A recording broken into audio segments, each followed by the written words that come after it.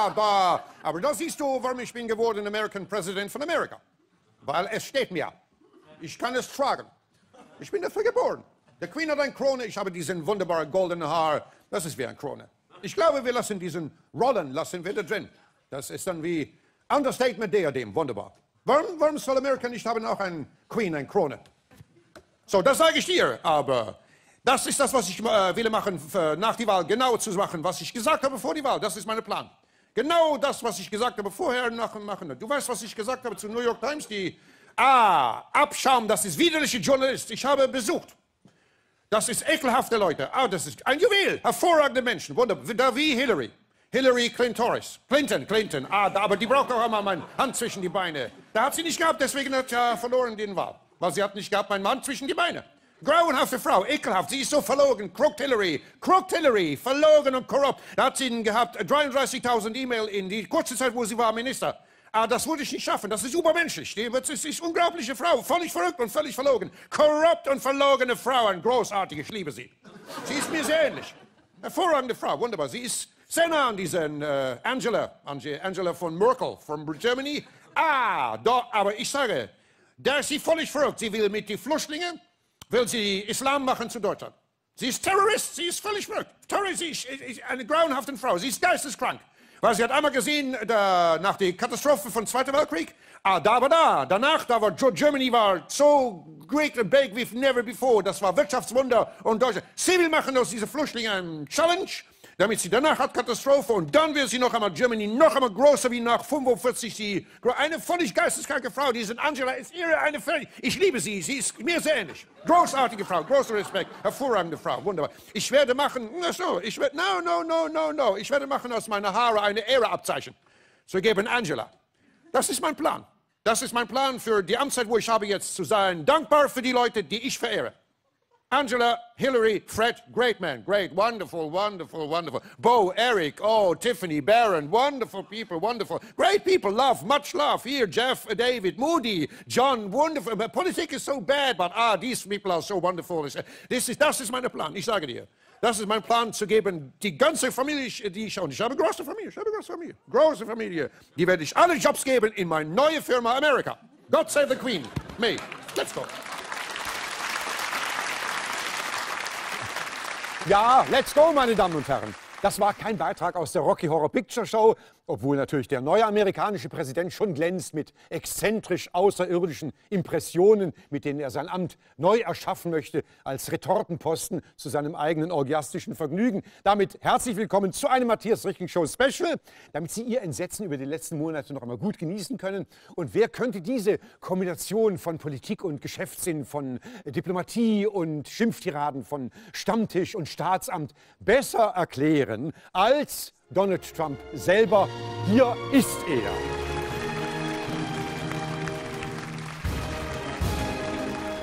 Ja, welcome, Mr. Trump. Thank you for coming. Oh, no, not these Formalitäten, please, ah. no. Oh, ah, Sie verstehen Deutsch. Nein, ich verstehe nicht, aber ich spreche es. Ach so, ja. Äh, Herr Trump, also die Wirtschaft hat ja schon lange die wahre Macht, auch bei uns in Deutschland. Aber mit Ihnen hat sie ja nun sichtbar die Politik übernommen. Wann stellt H&M den Präsidenten und wann kommt bei uns in Deutschland von McDonalds die Kanzlerin? Oh, no, not so negative. Das ist die ehrlichste Politik wohl gibt. Sie brauchen keinen Lobbyismus, sie brauchen keine Korruption, da musste niemand die anderen bestechen zu bringen, seine Familie in wichtigen Ämtern. Ja. Mir, spart die, mir spart die Ämter eine Menge Geld. Ja, ja, aber das Volk hat Sie gewählt, damit Sie die Dinge offenlegen, ja? Aber das, ich mache das. Ach so? Ich, jede Weiß arbeite ich nur für mich. Ja, aber Sie haben gesagt, Sie wollen Amerika great again. Machen. Genau das, was ich tue. Das, ich, ich bin Amerika. Ich mache mir great again. Ja, Amerika ist meine Firma. Na, ah, ja, und diese Firma Amerika haben Sie ja übernommen, praktisch äh, als feindliche Übernahme. No, oh, no, no, please, no, oh, no, no, no. Sogar das CIA sagt, Russland hat sich eingemischt in den Wahlkampf und hat Ihnen zum Wahlsieg verholfen, sagt CIA selber. Der Russland ist ein freies Land. Na. Wenn der Russland will, dass ich bin Präsident der Russland, hat er demokratische Recht, mich frei zu wählen. Ja, aber Sie sind in Amerika, ja. Ah, das ist großartig, dass Russland auch äh, frei wählen kann, sogar in Amerika. Aber Russland ist wegen Ukraine, Syrien, Menschenrechten der erklärte Feind von Amerika. Ah, ich bin nicht Amerika. Ah. Wenn du kannst die Feinde nicht besiegen, dann musst du machen gemeinsame Sache mit ihnen. Ja, deswegen steht ja auch Horst Seehofer sehr in der Kritik bei uns Deutschen, wenn ich Ihnen das sagen darf. Ich bin auch nicht Deutsche, ich bin so. exterritorial. Äh, Majestät, hochverehrter Herr Putin, allehrwürdigster Herr Präsident, ich bedanke mich ausgesprochen, äh, dass Sie mich als äh, bayerische Ministerpräsidentin mit dieser Ehre empfangen, empfangen zu werden und mich beehrt zu haben. Äh, meine Verehrung und... No, że trenerzy oferim așa trenie obožetice, mașini sine sine, trenie și ovoșe de sefă, ghe mașa trenie fise, no și trenie ovoșe de leken, ma da turne și trenie și voșe na premolie. Ah ja, äh, danke ergebenst. Äh, Sie, äh, wir müssen Dinge besprechen, dringend wegen den Syrien und Flüchtlingen. Und die Angela lässt ja bei uns alle rein. Können Sie sich das vorstellen? Angela Merkel. Ah, da Angela Maschatra, eine Mutter Baimari, Schatra, der Angela Jitren, jetzt Mutter Teresa, Mutter Germania, dicht an der Schatronier. Ja, wo sind wir? Meine Verehrung. Und ich sage nur, die Grenzen machen wir auch nicht. Und zwar zu Berlin. Die Angela kommt mir nicht mehr in unser schönes Land Bayern hinein. Das kann ich Ihnen sagen. Kommen Sie zu Thema. Ah, Dankeschön. Ja, beim Stichwort Thema sind wir schon beim Thema. Die Angela kapiert es nicht. Äh, weil wir keine Flüchtlinge wollen, belegt die uns doch tatsächlich mit Sanktionen. Das ist doch unerhört. Нет, ну что ja? wie sagt man in Deutsch, Sanktionen, Sanktionen. für Russland, für nicht, wir dürfen nicht mehr Waren bekommen von, äh, von ähm, Ja, ja, von, von, von Bayern, ähm, von Bayern, von Bayern. Na. Wir werden bestraft. 50 Prozent der deutschen Investitionen in Russland kommen von Bayern. Wir äh, werden bestraft mit Sanktionen, weil wir keine Flüchtlinge haben wollen. Das ist doch unglaublich. Нет, ну что die Sanktionen für Russland Nein. sind wegen Ukraine. Das ist uralte na, Sache. na, das ist, ah, ah, gut, dass Sie das ansprechen. Da habe ich nämlich äh, einen Zettel von aber von Menschenrechtsorganisationen, soll ich Ihnen sagen, wo steht da wegen Ukraine? Ah ja, da gäbe es äh, Ukraine-Schießereien und es wäre, wie heißt es, gut? Ah, nicht gut, das müsste beendet werden, sagen die. Ich weiß. Ah, Sie wissen es ja, warum sage ich es Ihnen dann, dann? Ich wusste nicht, dass Sie so gut informiert sind. ja, ja, der wird es auch erledigt. Und Ihre Hausaufgaben haben Sie auch gemacht wegen Ukraine, steht da? Da! Also, da wird es auch erledigt. Da müssen wir nur noch das Ding besprechen, äh, wegen, wie heißt es noch, äh, fällt mir nicht ein. Ach, das, äh, Was? Das, ähm, na, hier, äh, da habe ich es aufgeschrieben, äh, Syrien. Ja? Also, da gäbe es auch Bombardierungen ja? und äh, da wären betroffen private Frauen und Kinder und wie, wie wenn im Islam jemals Frauen privat wären. okay. Wovon sprechen Sie? Ja, eben, wovon spreche ich? Da haben wir das auch erledigt.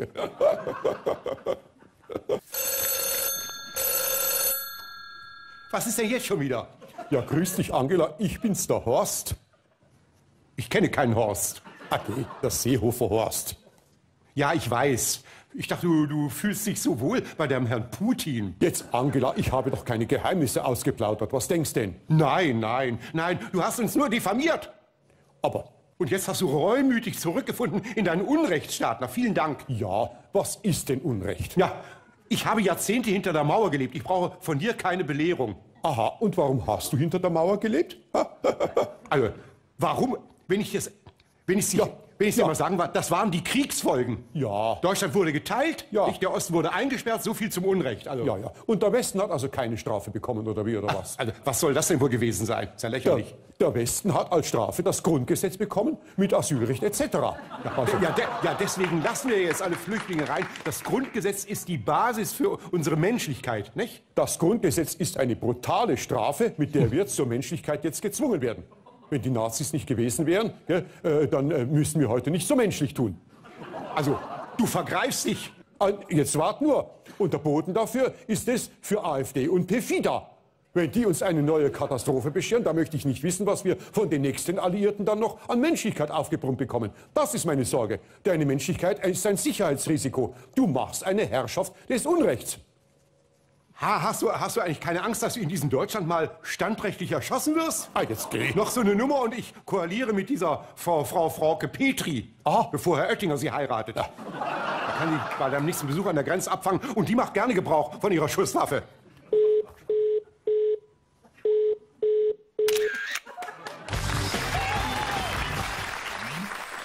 Oh, diese Merkel, mm, das ist eine völlig verrückte Frau. Die kritisierte Senehofer und da holt er Flüchtlinge nach Deutschland. Völlig verrückt, völlig verrückt. Ja, aber äh, Mr. Trump, das gebietet das Asylrecht bei uns, das Grundgesetz, das ist die deutsche Verfassung, ist das. So, das sagen Sie selber, die deutsche Verfassung. Die ja. deutsche Verfassung, der wird auch nicht benutzt in Syrien. Warum haben die Syrier das Recht, die deutsche Verfassung zu benutzen in Deutschland? Das ist völlig verrückt, völlig verrückt. Ja, aber das ist no, no, no, no, no, no, no. Die Verfassung die muss geschützt werden vor den Flüchtlingen. Da, da macht, was ich mache mit Mexiko. Da grabt den Mauer aus, gebt den Pegida-AfD Gewehre zu schützen, den Mauer. Wenn ihr schon habt Irre im Land, dann nutzt sie auch. Patriot Heil. Hm. Meine Damen und Herren, wir die AfD, ich als Frauke Petri sage euch, was heißt denn die mit uns befreundete Pegida, mit der wir nichts zu tun haben, die hätten auf einer Demonstration einen Galgen getragen für Frau Merkel. Wie weit muss man entfernt sein vom eigenen Glauben, wenn man sich darüber empört und nicht merkt, dass Pegida nur erinnern wollte an unsere christlichen Werte? Auch Christus hing am Galgen am Kreuz. Pegida wollte Frau Merkel nur gleichsetzen mit Jesus. Sie wollen nicht, dass sie leidet, meine Damen und Herren. Was ist denn? Wir sind die Erleuchtete, die... Ich werde vollstrecken das. Meine Damen und Herren, in Deutschland werden wir zeigen, wir haben Inhalte. Demokratie ist nur eine Vergeudung von Lebenszeit, die wir Wollt ihr das Totale? Ich habe aber, danke, dass ihr gekommen seid, meine.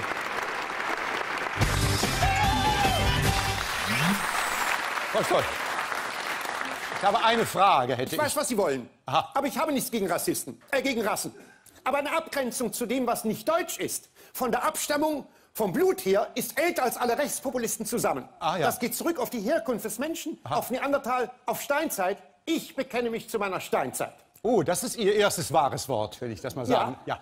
Wir müssen Deutschland frei halten von Muslimen und Flüchtlingen, schon wegen des Klimas. Wegen, was hat das denn jetzt damit zu tun, bitte? CO2 wird bekanntlich verstärkt durch den Methanausstoß der Rindviecher. Was? Flüchtlinge und Muslime sind bekannt für den großen Verzehr von Knoblauch, Kohl und Bohnen, Also- die die Flatulenz erheblich steigern und die deutschen Werte beim Klimawandel um Jahre zurückwerfen würden. Also bitte, haben, haben Sie deswegen auf Facebook auch den Schusswaffengebrauch gegen Flüchtlinge empfohlen? Das war ein technischer Fehler. Was? Ich bin auf der Computermaus ausgerutscht. Oh, bitte, das ist ja sehr billig, Frau Storch. Also, Im Gegenteil.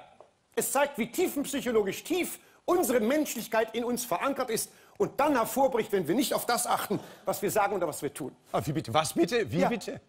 Wenn ich wirklich unterbewusst Schusswaffengebrauch empfohlen habe, so nur deswegen, weil ich diese Menschen schützen wollte vor Pegida-Hass und Asylheimbränden. Oh, komm, komm, komm. Sie schüren doch Hass gegen alles Fremde. Das sind Und doch wer Sie. weiter wettert gegen die AfD, gegen den können wir uns vorstellen, auch Schusswaffengebrauch zu empfehlen. Also, nee. Gott.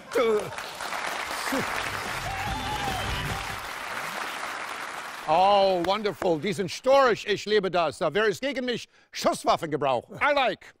Aber du sollst auch deinen Feind lieben, sagt eine alte christliche Grundlehre, ja? Ah, da, no, dazu, ich bin zu sehr Islamist. Was? Nee, dann bleiben Sie bitte nicht lange bei uns. Vielen Dank für Ihren Besuch, Mr. Trump. Okay, aber du sagen nicht viel mehr gegen mich, so. Sie haben gehört. Puff. Ja, wir versuchen trotzdem Christ zu bleiben. Das zeigt auch die Politik der Verteidigungsministerin. Dem Feind begegnet sie mit einer familienfreundlichen Bundeswehr und die miese Ausrüstung der Truppe gibt dem Gegner die Gewissheit, sicher zu überleben. Allerdings werden das Gewehr G36 und defekte Marinehubschrauber und ungewartete Panzer jetzt schon verramscht bei Kunst und Krempel.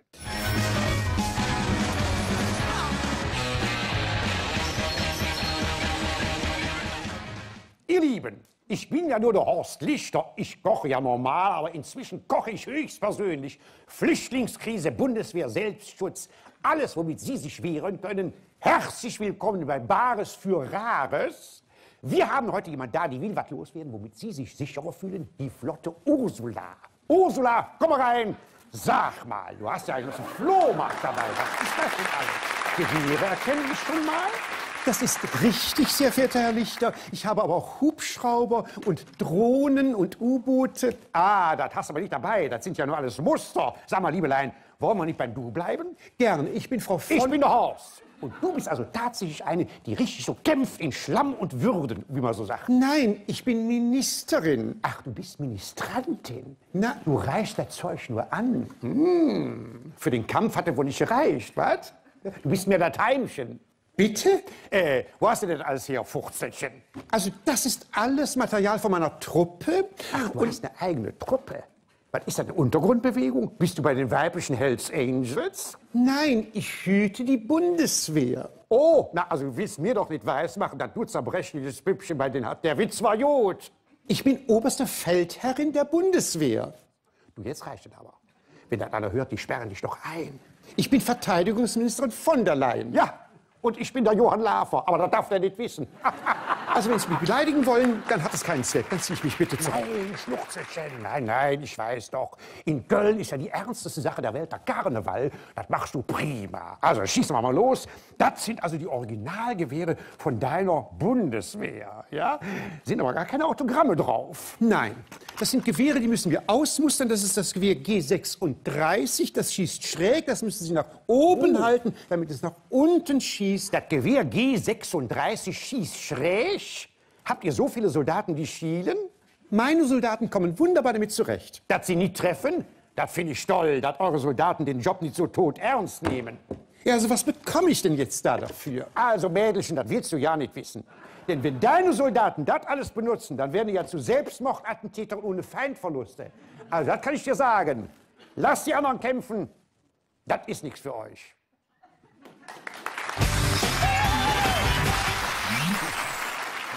Ob auch bald Parteien wie FDP und SPD auf dem Flohmarkt von Horst Lichter angeboten werden, das erzählt er uns jetzt. Hier ist er. Ja, Dach, Jungelchen. Ja, Horst, warum ist die Bundeswehr so schlecht ausgerüstet? Na, also was heißt denn schlecht? Ja. Das ist ja relativ. Aha. Guck mal, das Ursula hat ja unsere Bundeswehr kinderfreundlich ausgestaltet. So, jetzt nehmen wir mal für Spaß das berühmte Gewehr G36. Das soll ja nicht treffsicher sein. Ja, ja. Große Katastrophe, aber kannst du dir vorstellen, was ein treffsicheres Gewehr anrichtet in der Hand von Kindern, die in der Kaserne stationiert sind? Nein, nein, nein, nein, nein, nein, nein. Also das Ursula hat da konsequente Arbeit geleistet. Das Zeug ist in einem 1A unbrauchbaren Zustand für Kinder völlig ungefährlich. Achso, und vor allem geht ja auch die Rumpelkammer Bundeswehr zurück auf äh, Thomas de Maizière. Ach, ja, stimmt. Meine sehr verehrten Damen und Herren, als Bundesinnenminister wollte ich Sie heute darüber informieren, dass es einschneidende Veränderungen geben wird, um Deutschland zu schützen vor den akuten Gefahren einer neuen Welt, als das sind Terror, Klima und AfD. Sie brauchen sich deswegen nicht zu beunruhigen. Vorsorge ist die Mutter der Porzellankiste des Elefanten, nachdem er den Tatort verlassen hat. Es gilt, was wir immer in ähnlichen Fällen den Betroffenen sagen, ob beim Absturz von Germanwings, bei Tschernobyl, bei der Oderflut, bei den Anschlägen von Ansbach und München. Es besteht für Sie keine Gefahr für Leib und Leben. Bleiben Sie ruhig, bewegen Sie sich nicht. Entschuldigen Sie, diesen Satz habe ich für mich selbst notiert. Sie sind in Sicherheit. Es geht nur um die Eventualität eines Angriffes auf uns. Und deswegen machen Sie sich bitte mein Sicherheitskonzept zu eigen. Und dieses Sicherheitskonzept beinhaltet 400 Gramm Zwieback, 100 Gramm Nudeln roh, 750 Gramm Haferflocken, 400 Gramm saure Gurken im Glas. Jedem muss klar sein, dass es eine ungeheure Beruhigung ist, wenn Sie auf einen potenziellen Islamistenfanatiker treffen oder in einen terroristischen Anschlag verwickelt werden in Paris oder in Brüssel, dann stehen Sie das gelassener durch, wenn Sie wissen, zu Hause haben Sie 750 Gramm Trockenpflaumen, 100 Gramm Ölsardinen oder 300 Bockwürstchen in der Dose. Also man hat ja das Gefühl, die Regierung empfiehlt Vorratskammern, damit die Leute sich geschützt fühlen vor Terrorakten. Aber Vorräte sollst du nur anlegen für 14 Tage. Verstehe ich nicht. Ach was? Ja, das verstehe ich schon. Weil es ist ja sinnlos, Vorräte zu besitzen für die Zeit nach dem Ableben. Ja, das ist doch sehr beruhigend. Und das ist auch ein europäisches Problem. In dieser Katastrophe Europa, wo sich alle abwenden, da soll doch dieser Oettinger, der soll jetzt auch Vorratskammern anlegen. Was? Wieso das Ja, denn? der wird doch Haushaltskommissar. Nein, das ist doch was ganz anderes. Das hat der Oettinger auch schon verwechselt. Wirklich. Das Ach. Ja, ich habe neulich mit ihm darüber gesprochen. Können Sie sehen. Ach, Ja. Frau Merkel gilt ja in der westlichen Welt als liberale Bastion noch und will deswegen Bundes Bundeskanzlerin. Ja, Ja. blei- ja äh, damit nichts mehr zu tun. Nein, aber Sie äh, gegen die, also Sie stehen ja ihr entgegen, weil Sie da und herziehen über die Partner dieser Welt. Ach so, über wen jetzt? Über Homosexuelle, über Frauen, über Chinesen, über alle, was Ihnen Ja, einfällt. weil das alles Minderheiten sind, die ans Leben schwer machen. Wo machen die denn Homosexuelle? das Gute Leben? Frage, aber wenn die von mir erwähnte Pflichthomo-Ehe kommt, Ja. dann kann ich mir erstmal bei den Satzbau überlegen, wie spreche ich die an? Herr, Frau, Frau, Herr, wer ist bei denen überhaupt die Frau? Und bei jeder Einladung kann ich vorher Erkundigung einziehen, wem geben wir am Abend die Blumen und den Handkuss und wem kann ich danach die Männerwitze erzählen. Herr Oettinger, was haben Sie gegen Frauen dann? Was? Ja, bitte, äh, schauen Sie die Frauen doch an. Wer eine Frauenquote braucht, um sich in den Vordergrund zu spielen, der gehört zu Sigmund Freud. Ja, Herr Oettinger, wenn Sie über alle schlecht reden, wer soll Sie denn noch ernst nehmen als äh, Haushaltskommissar? Ja, das muss ja keiner mitkriegen. Aber Sie, Sie treffen doch auf alle, mit denen Sie äh, schlecht äh, in Verbindung stehen. Ach so, als Haushaltskommissar. Naja, weil Sie verantwortlich sind für das jährliche Budget der EU. Ja, Moment, äh, Buffet ist eine Sache vom Roomservice. Nein. Aber äh, Haushalt ist äh, Sache vom Housekeeping, Bett machen, aufräumen, saugen, äh, Papierkorb leeren. Ich werde praktisch von der EU Haussame. Das ist doch völliger Schwachsinn. Sie kümmern sich um Ausgaben und Einnahmen der EU, Herr Oettinger. Ja eben, Hausdame. Nein. Werden die Handtücher in Brüssel gewaschen oder in Polen ist vielleicht billiger in Polen? Werden sie überhaupt gewaschen oder kann der Nachbucher sie noch mal verwenden? Nein. Äh, weil er aus demselben Kulturkreis kommt und kein Veganer ist, all das. Das, es geht doch nicht um Handtücher. Nein, natürlich nicht. Äh, äh, bitte, äh, natürlich nicht. Es geht auch um Gästeseife, um Duschgel und um Badematten. Nein, es geht um den Etat der EU. Ach so. Ja. Ich sage es doch gleich, weil sie immer sagen Haushalt. Das ist doch der Etat. Also mich ist Haushalt äh, ich, äh, Handtücher und Seife und Abwasch und Bügeln. Es geht nur ums Geld. Ja, dann muss ich sagen, dann werde ich das Amt, das auf mich zukommt, genauso gewissenhaft ausüben wie das bisherige Amt, was ich gemacht habe, und zwar das Kommissaramt für, äh, was war es nochmal? Digitales. Äh, digital. Aber da hat man auch gesagt, dass Sie davon nicht verstehen. Das hat sich bewährt. Was? Weil je weniger man versteht, umso weniger redet man sich selbst dazwischen. Ja, dann alles Gute. Herr Aber Moment, was mache ich jetzt in Europa mit den Handtüchern und der Gästeseife?